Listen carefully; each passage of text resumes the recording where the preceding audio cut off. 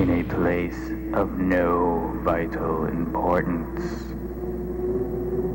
There existed a man with a mechanical arm. This man was known as Mutilator.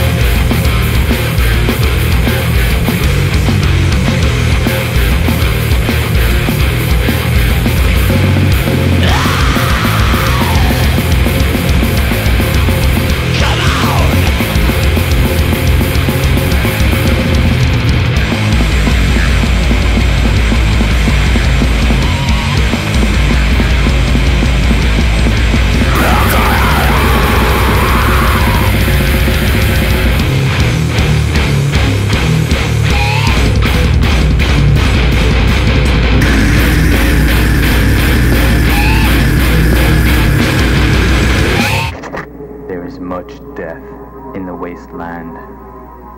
For Mutilator, it is a way of life.